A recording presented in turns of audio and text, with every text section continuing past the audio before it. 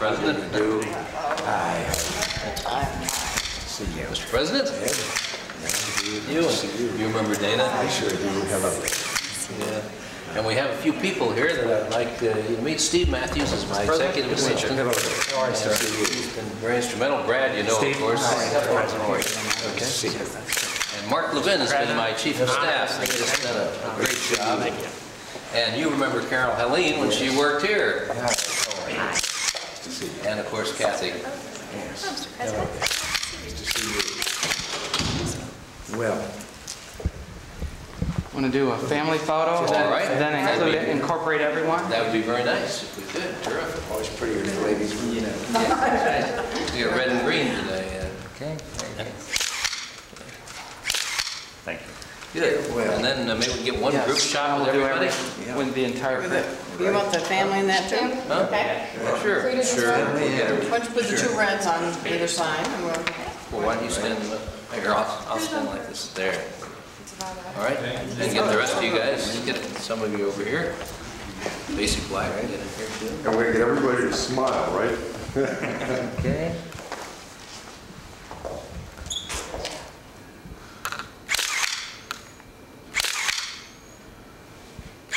Thank you, Mr. President. All right. Well, now, Ed, just a few souvenirs in advance of departure. Well, thank you. Yes. Thank you very much. There. Well, that's very nice. Five individuals here that have a souvenir of the Oval Office. These are key rings with the seal on them. Thank you very much. And Everybody has keys.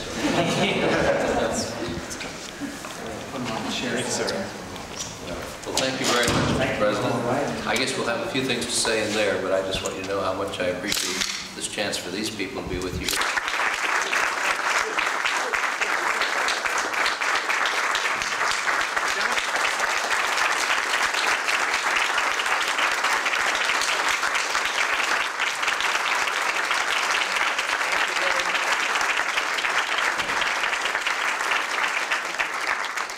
I thought that was all for you. I was waiting for it.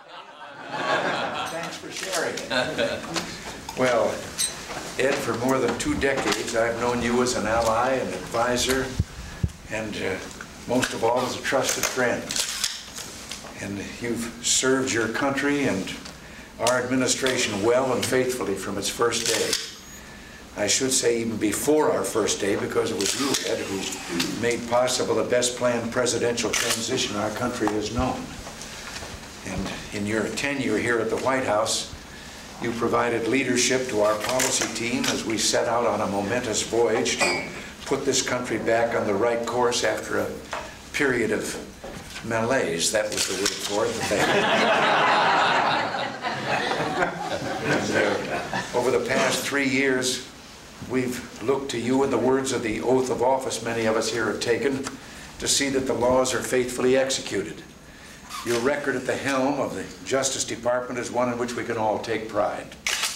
Whether it is fighting illegal drug trafficking or international terrorism or recruiting sound judges to the bench, you've set new standards of accomplishment. And of course, we haven't missed seeing you over here at the White House. You've chaired over 125 meetings of the Domestic Policy Council. And if you weren't busy enough already, you took on the chairmanship of the National Drug Policy Board. Ed, I'll miss you across from me at the cabinet table, but I don't plan to say farewell because I know you won't be far away and I intend to continue relying on your, on your counsel. I can't stop without saying something that I know all of you are aware of. You've been through a hell on wheels here recently, and I always go to bed feeling guilty about that for you and the others because ever since we've been here, there's been a lynch mob in action. And they pick somebody out and they go after them. And um, I know it's in an effort to get here at the whole administration that they're doing that, so I feel guilty about it and that you have to take that punishment. But it follows on. There was a very fine Secretary of Labor, Donovan, and all of a sudden he was gone, and then found totally innocent of every charge that had been raised. And then there was Jim Beggs at NASA, and the same thing, and found totally innocent. But then I've always figured that most lynch mobs aren't hanging the right people anyway. They're just in it for the, for the hanging. But uh, you've got a record there in the Justice Department that tops anything that the Justice Department has been able to boast about for many, many years. And in a number of different fields, whether it was going, declaring war on the mafia as you did, and bringing them up, more settling of cases of discrimination than any other administration or any other just Department of Justice under other administrations has ever done. And it goes on down the line with all of those. So I was glad last night on television to see uh, you and some of your folks getting together yesterday morning. And I think it was wonderful and it was due to you. And I just want to thank you and Ursula from the bottom of my heart. God bless you and your family. Well,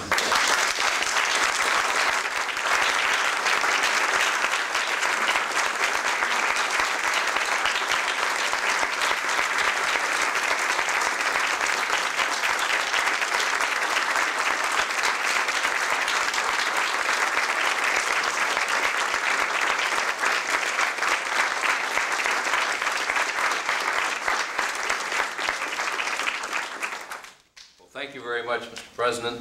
Uh, I can't think of, uh, of a better way to uh, end my service to the federal government right now than those kind words of yours, to be here in the Roosevelt Room with this group of friends.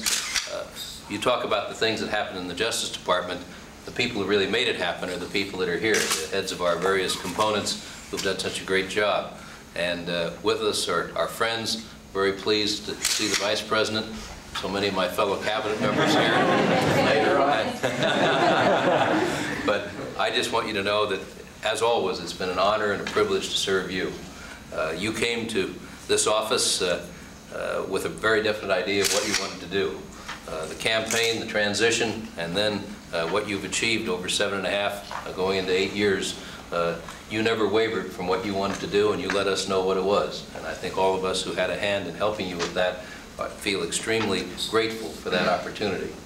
The best part about it, quite frankly, uh, was the people I got to work with, starting with you, but extending through this group, my fellow cabinet members, the people I worked with here in the White House, the friends on the outside who were so supportive.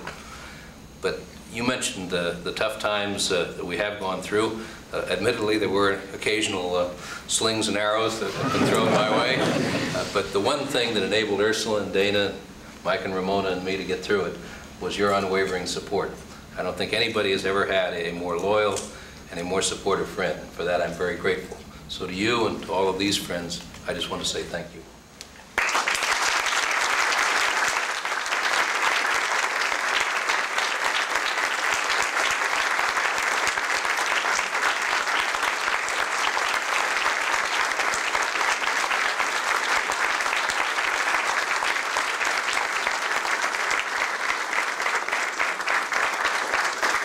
I think this is a party now, and there's all the makings for a pretty good And then I never had any problem about who was right and who was wrong. That's one thing about Hollywood. You always knew who played the bad guys and who played the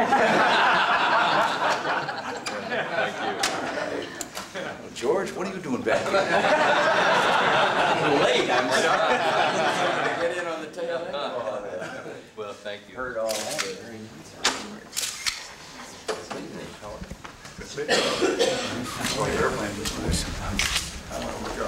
I know I can't stay and say hello to so many of you and to old friends as I would like to, but uh, I'm going to turn you loose now to get at that. That's the only part I shouldn't participate in. Thanks again, Mr. Well, President. listen, God bless you. Thank you. Thank you.